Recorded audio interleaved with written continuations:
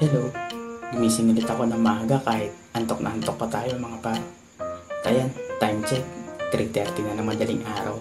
Tulad ng dati, para maaga makauwi, natawagan na kasi tayo ng agency para sa biometric. At ayan, episode 10 na tayo mga par. After 9 days, tinawagan na tayo. At ang time ng biometric ko is 1 o'clock PM. Inagahan ko na kasi hanapin po yung venue sa Makati kaya napasakay na din ako ng angkas papuntang agency para kunin yung passport at papers para sa biometric. May penalty kasi pag na-late.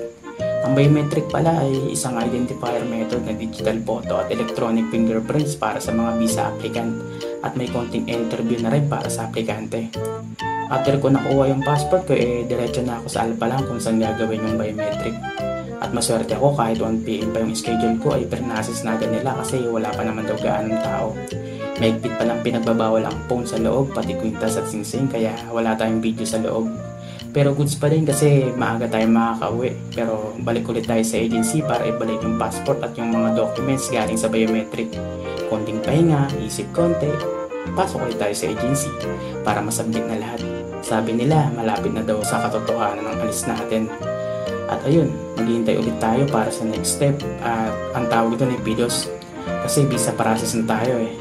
Ang masasabi ko lang ngayon eh kung ano man yung pinagdadaanan mo eh huwag mong tatambayan. Lagpasan mo nang masimulan mo ulit ang panibagong umaga. Salamat mga par.